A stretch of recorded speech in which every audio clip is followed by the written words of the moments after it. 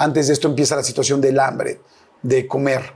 Y, por supuesto, eh, se ve en la película, y lo sé por la información, que tú eres la persona que empieza a abrir el tema. Si bien ya se había dicho por ahí algo, como ideas de cómo nos podemos alimentar, cómo podemos salir adelante, tú empiezas a dar una explicación a tus compañeros de que si quieren sobrevivir es necesario quizá usar los cuerpos de los compañeros lo tuviste que pensar antes para poderlo expresar? Eh, ¿Lo decidiste o fue fortuito? ¿Cómo lo hiciste para hablar y para decirles y tomar también fuerza? Porque por un lado tenían la parte ética y la parte inclusive religiosa y por otro la situación real. ¿Cómo decides hablar con ellos? y Porque también podías jugarte, hay un libro que se llama eh, La Sociedad de la... Perdón, eh, El Señor de las Moscas, de William Golding, donde aquí pasó todo lo contrario, aquí ustedes eran un gran equipo de rugby, pero, cuando se encuentran personas ahora sí que solo, sin saber qué hacer, se hace una nueva sociedad que puede ser terrible. Tú estabas jugándote una carta fuertísima al decir ese punto, que al final fue lo que lo salvó.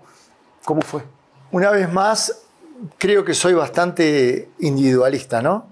Porque yo pensé, eh, acá me estoy muriendo, necesito comer, tengo toda la sensación de hambre que hay que entenderla, lo que es la parte animal del hombre que necesita comer. de sobrevivencia, de salvaje, ¿viste?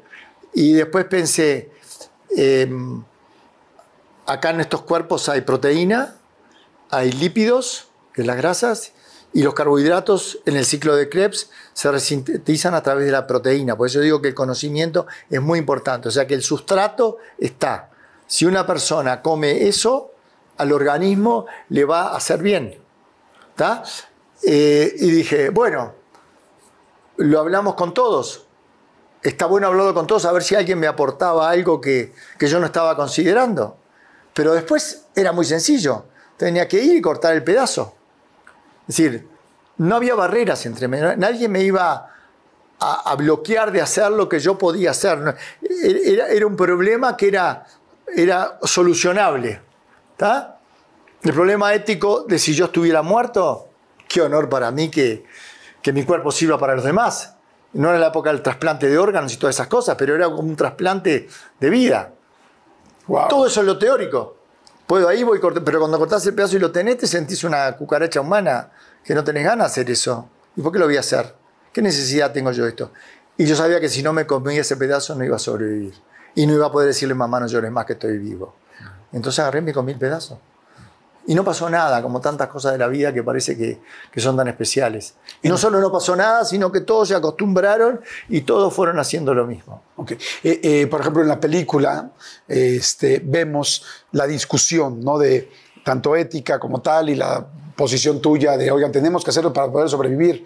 Este, y se ve un corto tiempo. ¿Cuánto tiempo realmente discutieron? ¿Cuánto tiempo fue real? ¿Fue demasiado rápido o fue cuestión de un día, dos días? Yo te voy a contar, Jordi, que la película es una película. Es un puente entre lo que pasó en los Andes y la vida real. Entonces, esa discusión se da para que el espectador pueda tener su proceso mental de ponerse en ese lugar y ver qué, había, qué habría hecho él. O sea que es una, una discusión muy aparatosa y, y que no sucedió en los Andes obviamente. Esto es una, la gente me dice, fue tan horrible como muestra la película. Digo, si te muestran de verdad lo que pasamos nosotros, te parás y te vas del cine. Es decir, lo que está haciendo es que el espectador entienda si él hubiera estado en ese lugar, qué dudas hubiera tenido. Y a través de las diferentes posiciones, ir viendo cada cual cómo se hubiera eh, posicionado. Entonces fue una decisión muy rápida. Yo creo que sí. Yo le dije, mira, yo voy a cortar un, pedazo y me lo voy a comer, no sé qué van a hacer ustedes. Eh, respeto todo lo que ustedes digan. Y fuimos creo que con Gustavo Servino y con, y con este Fito Strauch y, pusimos los tiritos, los tiritos arriba del avión y con Daniel Maspons. Y bueno, creo que primero agarró Daniel, después agarré yo y bueno, y dimos ese, ese salto para lo cual no estábamos educados. Es algo que no está en, en los manuales de, de los seres humanos civilizados. Claro. Esa es la sociedad de la nieve, esa capacidad de adaptarse al hombre. Por eso yo le digo a la gente, aprendan ustedes a la capacidad de adaptarse, aprendan a aceptar lo más rápido posible las nuevas condiciones y no quedar afarrado, pero ¿cómo? A mí me pasa esto. No, no, te está pasando. Cuanto antes te, te, te, te, te ayornes, antes vas a estar de la salida. Híjoles, aquí hay una frase, o sea, aquí hay un mensaje importantísimo, o sea, de lo que está diciendo eh, Robert, o sea, es rápido. Si vas a actuar es información, inteligencia y rápido. No estés esperando, como dices tú, Decisión. me estoy muriendo, necesito alimento. Mi parte más este, animal, más básica, me, Me está pidiendo alimento, ¿no? Si la antropofagia, si el canibalismo, si no, tal es como a la chingada ahorita todo eso. O sea, necesito comer porque si no, ni siquiera voy a tener tiempo para pensar mañana de esto, porque ya no voy a estar vivo. Entonces, eh, es muy interesante esa forma de afrontar los problemas rápido para poder ganarle tiempo a una situación que quizá lo último que tiene es tiempo. Eh, cuando tú empiezas a comer la comida, hubo gente que menciona eh, que, que se les cerró el estómago, que no podían. Me parece algo muy lógico, un reflejo muy normal también de un cuerpo. En tu caso, ¿fue fácil? ¿Fue difícil? ¿Cómo fue eh, ahora sí que la ingesta? Fácil. Sí, yo me adapté rápido. Este, era lo que había y chao, y no. Y, este, y fascinante la carta que escribe Gustavo Nicolich, que, que cuenta eso, de ese paso tan difícil y todo, y, y cómo lo, lo autentifica, y cómo Gustavo Servino trae esa carta, y esa carta a la humanidad nos, nos blinda, nos blinda de que fue una, una decisión consensuada y que él ofrece su, su cuerpo si él puede ser parte de, de eso también, ¿no? Que es terriblemente hermoso y, y- y poético de, de cómo aún después de muertos ellos quieren ayudarnos a salir.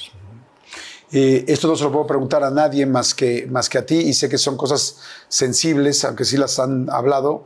Eh, el asunto de saber de qué persona estás extrayendo la carne, eh, ¿es algo que ustedes sí veían, ustedes sí sabían o ustedes de alguna manera era como, pues, no sé qué, qué pierna estoy tocando porque no estoy viendo la cara? No, no, sabíamos todo, sabíamos la cara, sabíamos todo. Y muchas veces yo pensaba como que me lo estaba haciendo a mí mismo, Ok. como que él era yo, como si yo hubiera estado en lugar de él, eh, sería un honor para mí. No, no había tanta, tanta- no había tiempo para tanta parsimonia ni para tanta... Eso era práctico, era un lugar donde, donde las películas de terror quedan todas cortas. Ya nada me da miedo porque sé que, que los muertos no se mueven. Toda esa película de terror que los muertos caminan. todo. Nosotros vivimos 72 días adentro de un cementerio que no tenía tumbas, ¿te das cuenta?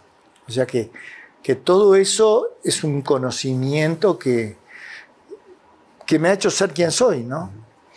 Cuando llega la avalancha, la- esta avalancha con dos ocasiones, no sé si así haya sido, pero este, cuando llega la avalancha, ¿en algún momento pierdes eh, la esperanza? Yo sentía que, que estaba caído y que me pegaban en el suelo. Que ya estábamos lo peor y que me seguían golpeando y pegando.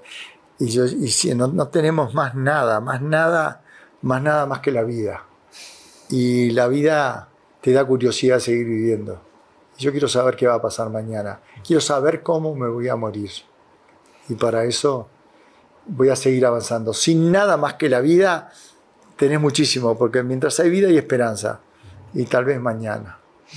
Oye, ahora se maneja mucho, pues en todo el mundo, este asunto de la manifestación, de creer y energéticamente jalar lo que quieres, que, lo que quieres conseguir. Eh, estaba leyendo yo que mucha gente, bueno, muchos de los sobrevivientes, bueno, más bien de los no sobrevivientes, hicieron cartas. Eh, Tú no hiciste carta. ¿Por Yo- qué no hiciste carta? ¿No querías hacer carta? ¿Creías que, que era manifestar tu muerte? Sí, yo veía que todos los que hicieron cartas se murieron.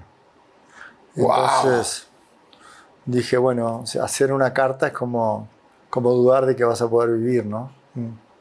sigues manifestando muchas cosas, sigues creyendo al 100% en tengo que conseguir esto o voy a conseguir esto o estoy seguro de que lo voy a conseguir para conseguirlo.